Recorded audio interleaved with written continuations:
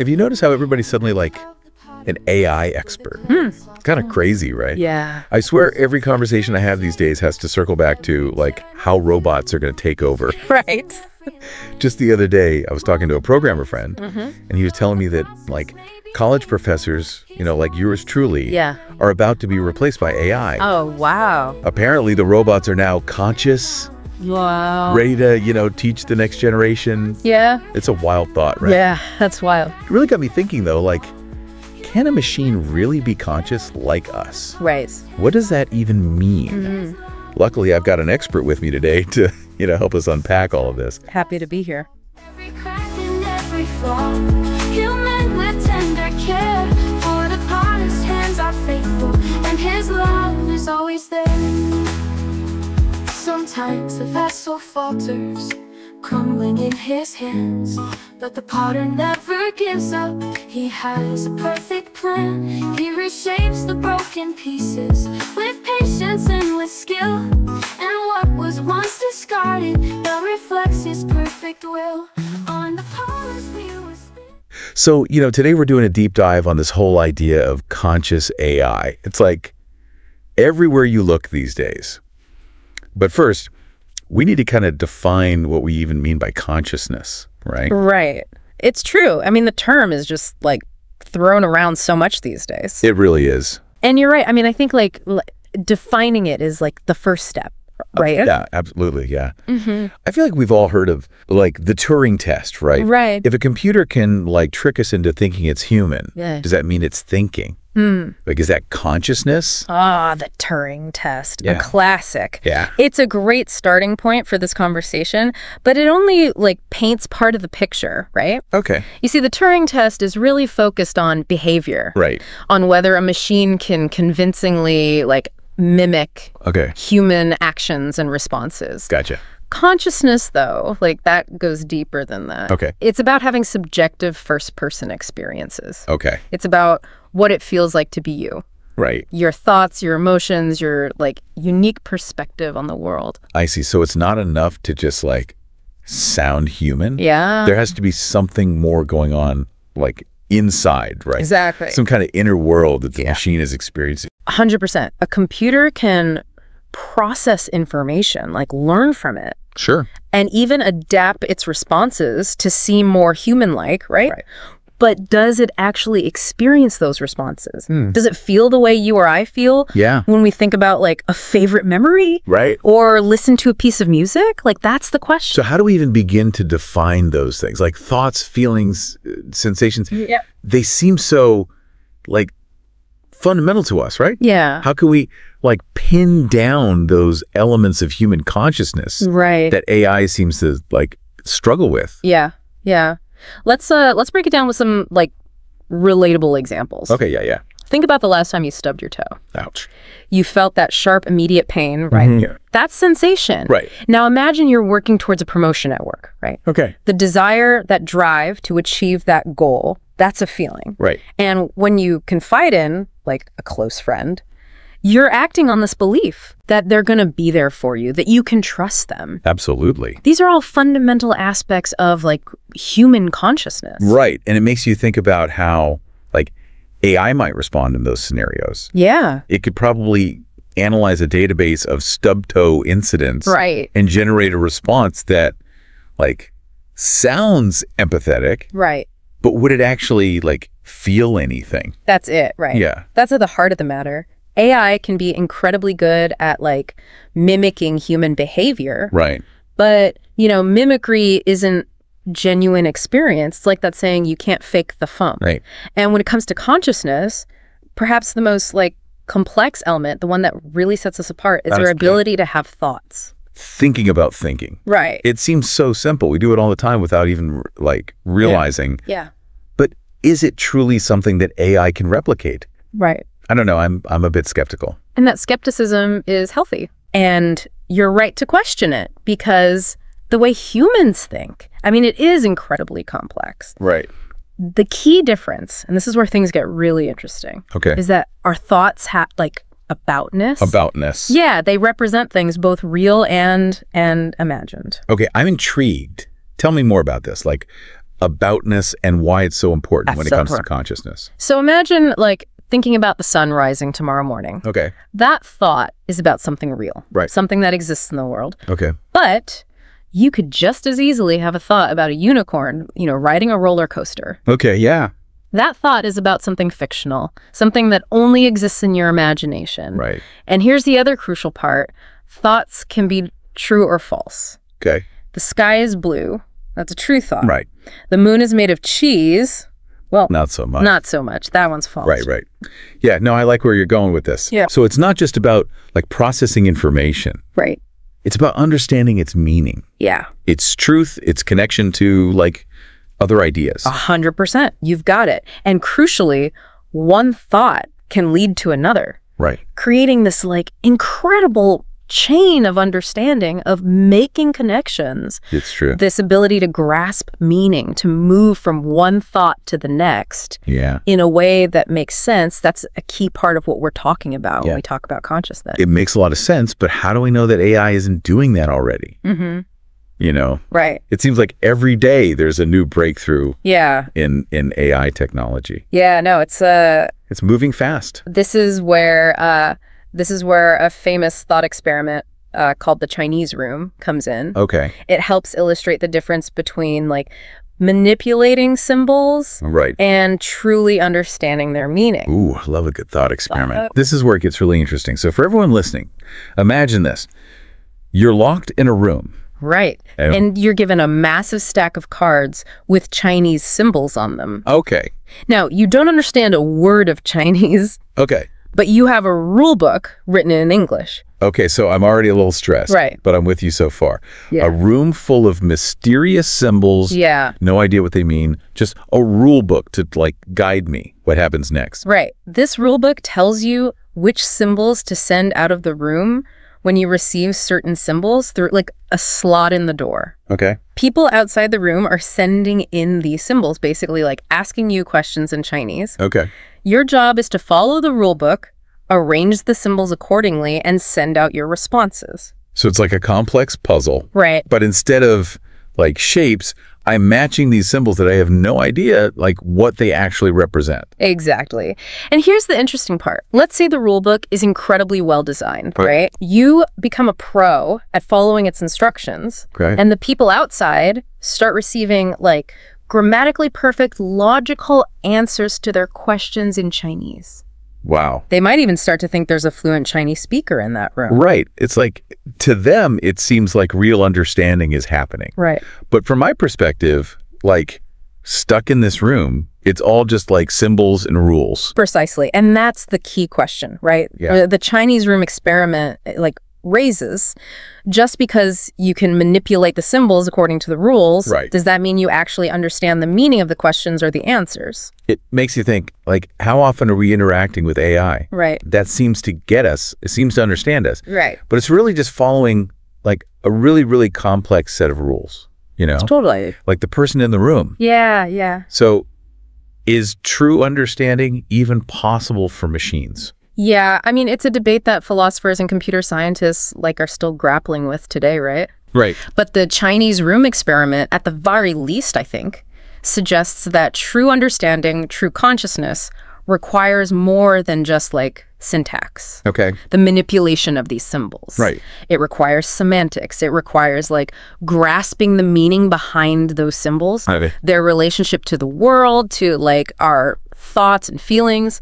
So applying this back to AI, Yeah. just because like an AI program can, I don't know, like write a poem or compose a piece of music Right. by following like this set of rules. Right. Doesn't mean it understands the emotions that like those creations evoke in us. Exactly. Yeah. It doesn't mean that AI is like feeling those emotions. Exactly. And this is where I think the conversation goes beyond just like technology. Right. And it delves into some like deeper kind of philosophical questions, right? Yes, totally. If we say that humans have this like unique capacity for conscious thought, Yes. for like understanding meaning Yeah. in a way that AI, at least for now, can't, does that point to something like special about our place in the world?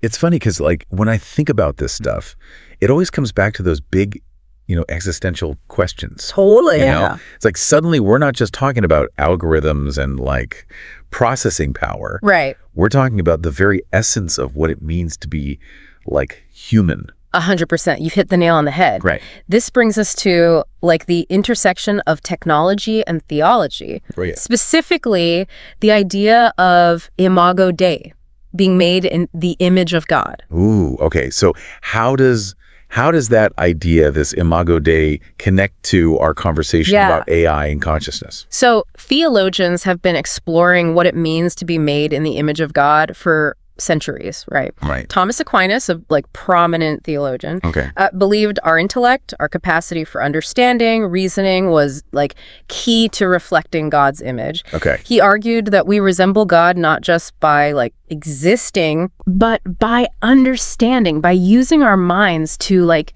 engage with the world around us. So you're saying that like because we're made in God's image, Yeah. Our ability to think differently than AI means something like deeper. Right. It speaks to like a unique capability for understanding, for like connecting with something bigger than ourselves. Exactly. It Yeah. suggests that our ability for conscious thought isn't just like a, a biological quirk, right. but like it reflects something profound about our nature and our place in like Yeah. the grand scheme of things. That's a powerful thought. And it makes me wonder like how should this understanding of ourselves, Right. this recognition of our unique capabilities, Yeah. how should it shape how we interact with and like develop these increasingly sophisticated machines? It's a crucial question to consider, right? Right. As we create AI that can like mimic us in so many ways, Right. it becomes even more important to remember like what makes us human, what Mm. sets us apart. And it's not about like fearing AI, but approaching it with you know, with wisdom, Right. with an awareness of its limitations Mm. and a deep respect for those qualities that make us uniquely human. It's almost as if like the more advanced AI becomes, Right. the more we're forced to kind of confront these fundamental questions about ourselves. Yeah. Like, what does it even mean to be conscious? Right. What does it mean to be made in the image of God? Right. And like, how do we navigate a world where like the lines between like human and machine are becoming increasingly blurred? You've touched on something really important. And I think, you know, this isn't just about figuring out if AI can become like us. Right. It's about understanding what makes us who we are. Right. Totally. And that's like an ongoing journey of discovery, I think, for for all of us, really. And it's a journey that I think we're going to be on for a very, very long time. A hundred percent. It's not just like a technological revolution we're experiencing, you're right. but a philosophical and like perhaps even a spiritual one as well. Yeah. But before we like get too existential here, Sure. curious, like what practical implications do you think this understanding of consciousness has on the way we develop and interact with AI? Yeah. Like where do we go from here?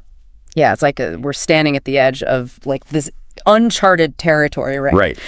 On the one hand, we have all of these incredible like technological advancements. Yeah. You know, AI that can like write poetry, compose symphonies, It's wild. even hold like conversations that feel eerily human. I know. But then on the other hand, like we've been discussing, there's this fundamental difference in how we understand like consciousness, right? Right. AI might be able to like mimic us really, really, really well. Yeah. But does it truly like experience the world the way we do? Right. And if not, what does that mean for us as we move forward? It's a question with profound implications. And I don't think there are like easy answers, Right. but I think it starts with recognizing the inherent dignity of like human consciousness. It means valuing those things that make us uniquely human. Okay. Our creativity, our capacity for empathy, our moral reasoning, and ensuring that like our technological advancements don't come at the expense of those qualities.